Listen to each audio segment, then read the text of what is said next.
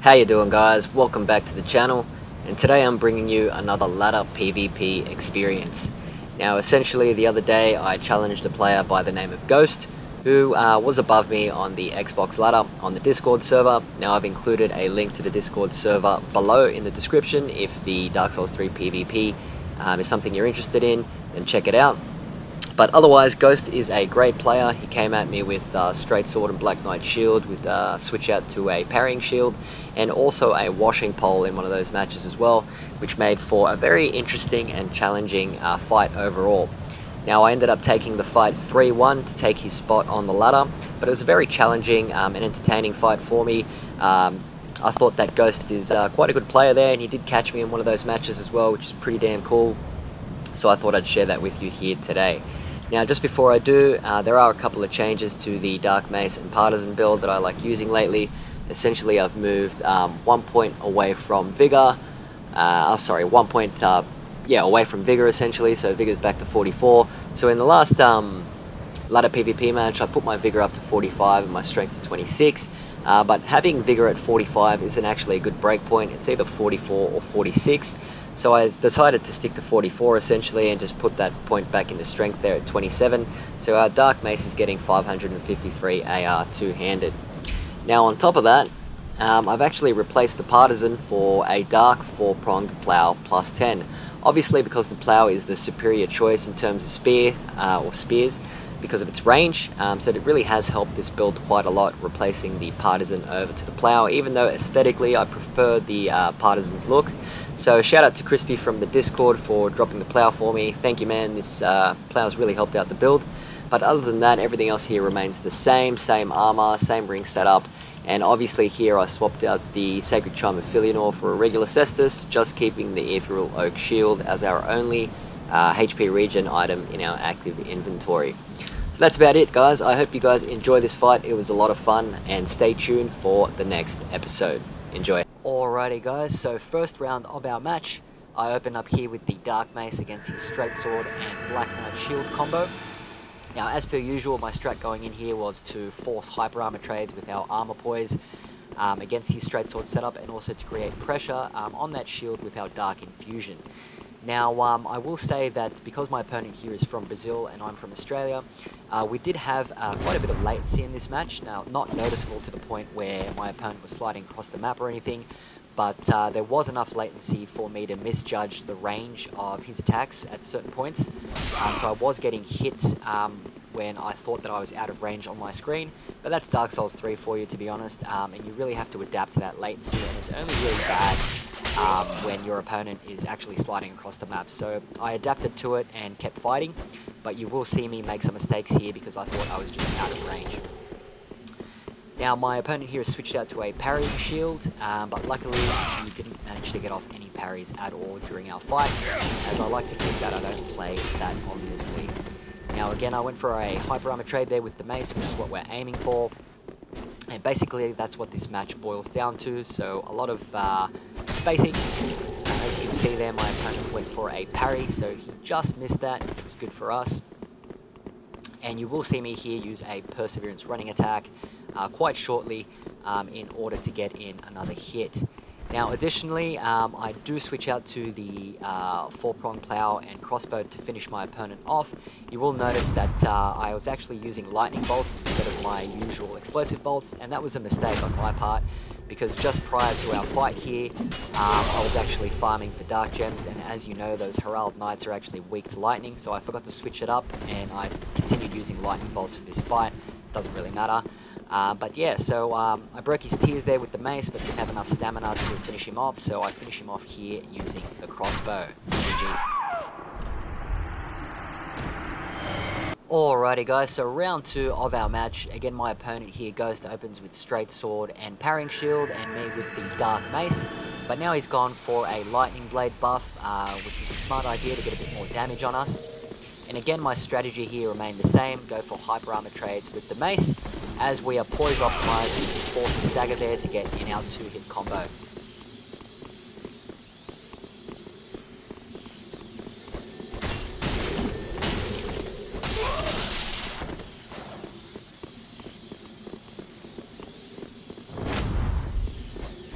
Now my opponent there goes for a parry and gets punished there, but he does hit me back there a couple of times as I didn't have enough time to roll away. Now I'll use I use Perseverance here to psych out my opponent a bit. Obviously I like going for those Perseverance running attacks, but not all the time, uh, just to be a little bit less obvious and predictable. But here I muck up my uh, range with my mace quite severely and Ghost punishes me accordingly. Obviously he's a great player, so he's going to capitalise on that mistake on my part.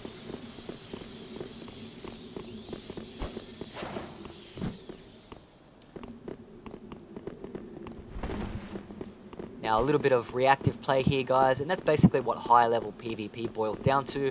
Uh, it's really about scoping your opponent out and using the most effective attack, so you're going to look for opportunities to hit your opponent. Neither of us were rushing here, um, and instead we were just looking for opportunities to outplay each other.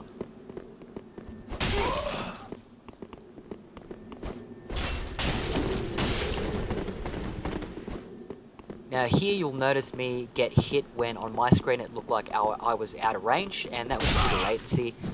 Um, and again here when Ghost uses the uh, weapon art of his straight sword I thought I was out of range and obviously it hit me. Luckily I got in another hyper armor trade there at the end so we do have a health advantage currently but because I kept misjudging that range um, it's thrown me off a little bit and here again with that running attack I thought I was out of range but due to latency I got hit again. So this has actually caused me to uh, get thrown off a little bit now in the match, and you'll see me go a lot more passive now than I should have been. Uh, and that's what cost me this round, guys. So um, in my opinion, I thought I should have maintained that aggression, but obviously the uh, latency and misjudge of the range of his sword, due to that latency, threw me off here, and I went into passive mode, and Ghost punished me accordingly.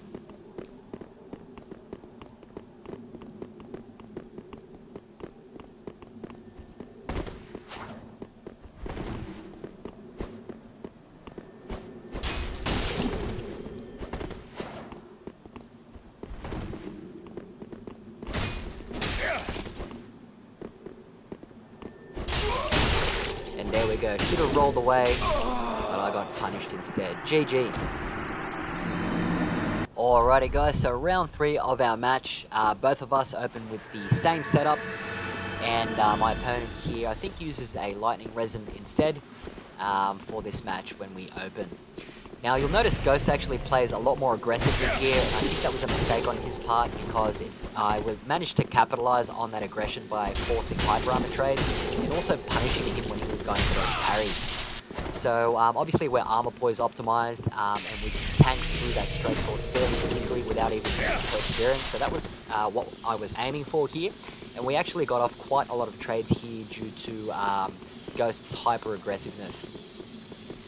Now you'll also notice me uh, roll quite a bit more here guys, obviously because I was anticipating the latency. So I was rolling a lot more in this match um, and adapting to the fact that I would probably get hit when I was out of range, or when he was out of range on my screen. Um, and now towards the end of the match I switch out to the uh, four-prong plow and the crossbow to finish him off. Obviously wishing that I had switched out to those explosive bolts, but uh, that doesn't matter. Uh, the four-prong plow is actually excellent at finishing your opponent off, and in hindsight I probably should have been far more aggressive using it here to create pressure, uh, but again, due to, I think it was due to the latency and stuff like that, uh, I wasn't playing as aggressively as I should have. Um, obviously, um, you know, fearing that I would get hit uh, when in my screen it wasn't in range. But uh, I kept this set up towards the end here, uh, going for pokes when I saw an opportunity and also shooting him. So he had a lot of pressure to deal with here. Uh, the range of the pokes on the spear and also the crossbow, but he does manage to punish me accordingly and he gets off some sweet rolls there to dodge my um, plow there. So uh, again, Ghost, great player, dodges accordingly and manages to create pressure himself against me, knowing that he was one hit away from death. So great match. I switch out to the uh, Oak Shield here now, obviously because uh, you know I wanted a bit of HP regen, um, and I was waiting for an opportunity to finish him off here with the plow, which I get um, in a minute. And there we go. GG.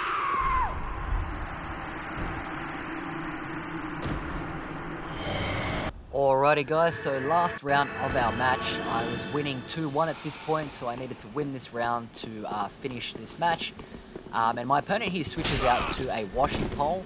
I actually thought I was done for, to be honest. Um, the latency coupled with the range of the washing pole, um, it was quite a difficult match. Um, but luckily, I've fought so many katanas and so many washing poles that I'm quite good at dodging the running attack and also um, forcing hyper armor trades, uh, you know, when the running attack actually comes to. So you'll see me here punishing my opponent quite a lot here with hyper armor trades. And um, I've also managed to actually intercept a few of his running attacks uh, with hyper armor trades using the mace, and also dodging them accordingly.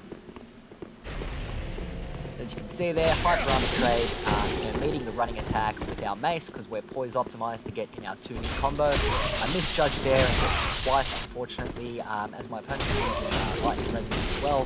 Uh, was getting quite more damage um, in in this match, and on top of that, he managed to actually dodge my hyper armor trade in that last exchange, which was great. Now, um, man, I was shit scared in this fight, I ain't gonna lie. The washing pole is an excellent weapon um, in this sort of arena because it's so small. And when you have latency on your side as well, um, it makes for quite a frightening experience. But luckily, um, I kept my wits about me um, and dodge rolled accordingly, forced trades at every opportunity I got. And you'll also notice that I play quite patiently now against the washing pole uh, only attacking when I had the opportunity, which is key in my opinion.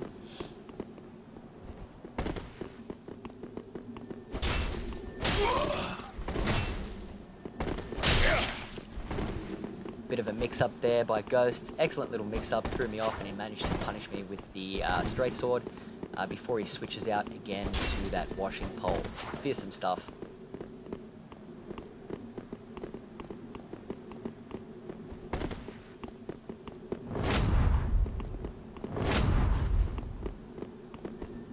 bit of uh, perseverance uh, psyching out there. But again, those washing pole running attacks are absolutely devastating. And I had two choices here. Uh, basically, force trades at that running attack, or just play very patiently and look for opportunities to get uh, one or two hits in, which is exactly what I did. So at this point, I was just uh, playing very patiently and looking for opportunities to counter-attack, like there.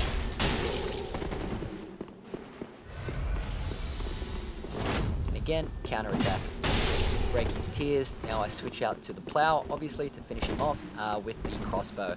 So crossbow and plow, excellent uh, combination there to finish your opponent off. You can create quite a lot of pressure as your opponent has two things to deal with, the range and pokes of the plow and also the uh, bolts of your crossbow. So now it was a matter of time, it was just me looking for an opportunity to finish my opponent off with either of my weapons.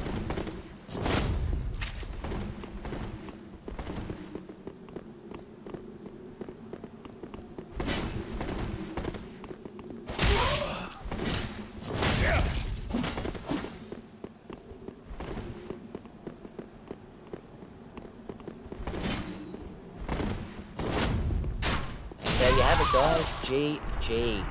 So I hope you enjoyed this one guys. If you did, hit that like button. If you're enjoying my content, please subscribe and stay tuned for the next Poise Showcase. Until next time guys.